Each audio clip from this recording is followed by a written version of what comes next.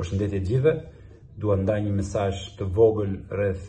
një tematike që më ka shqetësuar shumë prej muajsh, po dhe po i jepet shumë zë kohëve të fundit.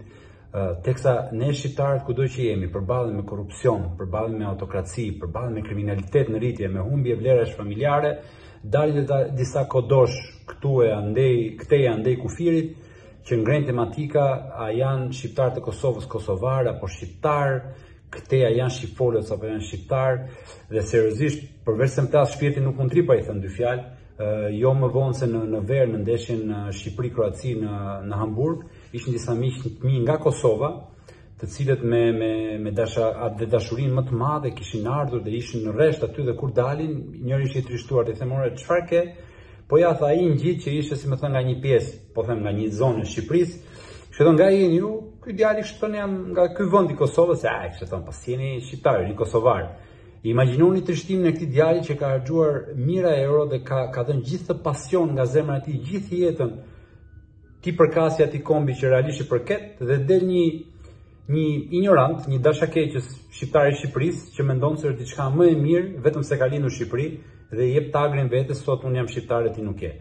Megjithatë ne nuk është se do e zgjidhim këtë problematikë, as unë nuk do e zgjidh, unë thjesht po them çfarë kam në zemër. Unë mendoj që ne të gjithë si shqiptarë e para herë na bën më të fortë të jemi bashkë. E dyta, jo vetëm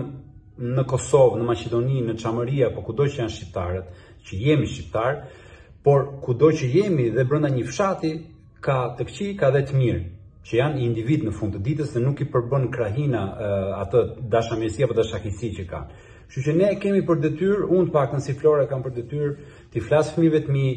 t'i t'i t'i dua vëllezërit e mi nga cilado krahinë e Shqipërisë janë dhe ta them dhe publikisht dhe këtë do shpresoja ta bënin shumë shumë të tjerë dhe aq më shumë shqiptarët e Shqipërisë sepse kam përshtypjen këtu fillon problematika dhe fillon edhe ndoshta nga një plagë e madhe e, e bërë në komunizëm, ku u fut kjo përçarje dhe u quajtëm vëllezër me me me jugosllavët si si për shkak të bindjeve partiake, vëllezër si shtet sepse qytetarët nuk është se ndanin këtë mendim, ë dhe miq me me shqiptarët e Kosovës. Kështu që poshtërsi më të madhe nuk ka që ne mund t'i bëjmë vetes ditëve të sotme, ku çdo shtet mundohet të gjejë pakica, shumica nëpër botë, t'i japi pashaporta etj etj. Ne jo vetëm që nuk i japim pashaporta në masë shqiptarëve të Kosovës, siç do duhej të jepim, meqë jemi një komb, e shqiptarëve të Maqedonisë, e kudo që janë, Mal i Zi, ne mundohemi t'i përçajmë ose i japim zë atyre dashakeqësve që për ca klikime më shumë thonë disa budalliqe më shumë në televizor dhe në fakt nuk janë vetëm budalliqe, Si siç thonë gjuha kocka nuk ka, por kocka thyen, kështu që këto fjalë janë shumë të rënda, këto tematika në gjykimin tim janë shumë të rënda dhe vetëm e vetëm se na prishin punën ne si shqiptarë. Ë